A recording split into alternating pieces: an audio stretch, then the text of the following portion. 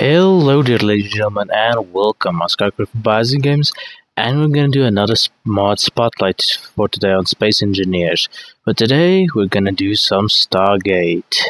Now you might have seen some of these Stargate features on my Space Engineers series so far, but uh, these brought the designer of the Stargate mod has brought out a new update and I'm going to show you guys some of the well, not some of all of the new things that he's brought out and the old things that are on this mod.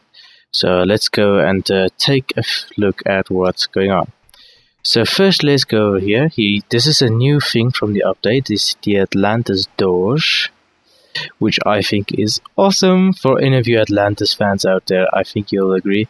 Atlantis doors are way better than the normal doors. Then we have the Naquadah production facility which uh, before anything else you had to make Naquadah from this refinery to make the ore, the ingot for the Naquadah generator. Now over here we have the dial home device with the base Stargate and the DHD computer, I believe it's called. Yeah, DHD computer. And over here we have a Naquadah generator which uh, gives four times the energy output of four small reactors. And I uh, much more prefer these than normal small reactors. And over here we have the normal Milky Way uh, Stargate. I forgot what it is. And one of my favorite features the Atlantis drone chair. Oh I love this thing.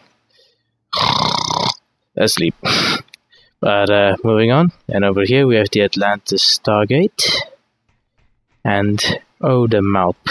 For all the years it has been in Stargate lore, and it's in the earth. Now this star, this Malp cannot move. It's I think it has a camera on it, but uh, it can't move at the moment. And here we have the Stargate Universe dialing device with the Stargate Universe Stargate. Now over here is one of the new features of the mod. These are the new ores that you can mine. This is Naquadah ore, so instead of having to make from different ores, Naquadah, you can now actually go and mine it. You got neutronium ore, so yeah, you can actually mine neutronium now. And trinium ore, which is the ores that the SG1 team were looking for through seasons 1 to 4, I believe and uh, they all look really cool. I have to say, this is a looks Dacaron looks almost like a rusted steel type color. Uh, Neutronium looks like a silver bluish color, and uh, Trinium looks like hmm like a blackish silver blackish color, which is I believe really a cool color for all of these that he's chosen, and uh, I do look forward to these in the series. Now moving on, over here are the weapons that you can now make. The Jaffa staff weapon. The P90 is the latest addition in the update for the mod, which I do enjoy so much. Uh, let's go and actually fire it quickly. As you can see, it has a rapid firing rate. And here we have the Z Nicotel. So you might think that is all, but uh, over here we have the Supergate. Yes, the Ori Supergate, and uh, it sticks with its name. I mean, that is massive. I mean, it's larger than, than the entire. You can fit that entire asteroid into the Stargate and have room to spare. That's that's just amazing. Now, um, let me see. What do you need to build? Now, that's what you need for for Supergate. You need 9001 Naquadah components. Wow, that's a lot of Naquadah. But anyways, now uh, let me give you guys a bit of the lowdown of what the developer is uh, trying to work on in this next update. He's going to try to get a ZPM in the mod. I hope that thing will be like heavily OP and be the power of a hundred large nuclear reactors or something like that. That would be awesome. He's going to put uh, Jaffa st- uh, staff weapons for light, not for light ships, small ships, like the uh, Death Glider Jaffa staff weapons, those type of weapons.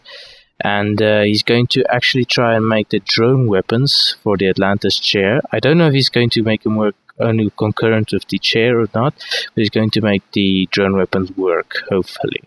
So those are the things he's trying to work out. And uh, oh, and uh, he's going to make suits for SG-1, uh, Atlantis, and Jaffa. So I'm really looking forward to that. So uh, if you like this video, click the thumbs up button and subscribe for more Star, well not Stargate, but uh, Space Engineers related mods and content, as well as other really fun series that I have on my channel. But also comment down below what you think of the Stargate mod. Is, are these things sufficient or do you want more? And if so, what would you like next in the next update? Because uh, the developers would definitely like your input.